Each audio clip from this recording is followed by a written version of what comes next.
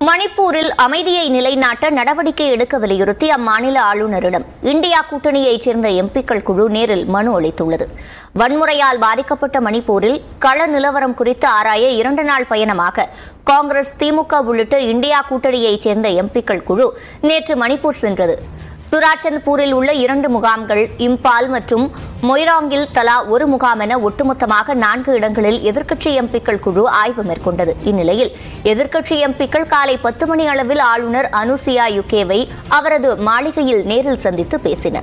அப்போது மணிப்பூரில் தற்போதைய சூழல் மற்றும் கலவரத்திற்கு பிறகு மக்கள் சந்தித்து வரும் பிரச்சினைகள் குறித்த விரிவான அறிக்கையை சமர்ப்பித்தனர். மேலும் மாநிலத்தில் உடனடியாக அமைதி திரும்ப நடவடிக்கை எடுக்க வேண்டும் என்று கேட்டுக் கொண்டனர். அதன்பின் செய்தியாளர்களிடம் பேசிய காங்கிரஸ் மூத்த தலைவர் ஆதிர் ரஞ்சன் சௌத்ரி மணி மணிப்பூர் வன்முறை சம்பவம் குறித்து ஆளுநர் தனது கவலையை வெளிப்படுத்தியதாக தெரிவித்தார் மக்களிடம் உள்ள நம்பிக்கையின்மையை தீர்க்க அனைத்து சமூகத்தினருடனும் பேச்சுவார்த்தை நடத்த அனைத்து கட்சி குழுவை மணிப்பூருக்கு அனுப்ப வேண்டும் என்று ஆளுநர் ஆலோசனை வழங்கியதாகவும் கூறினார்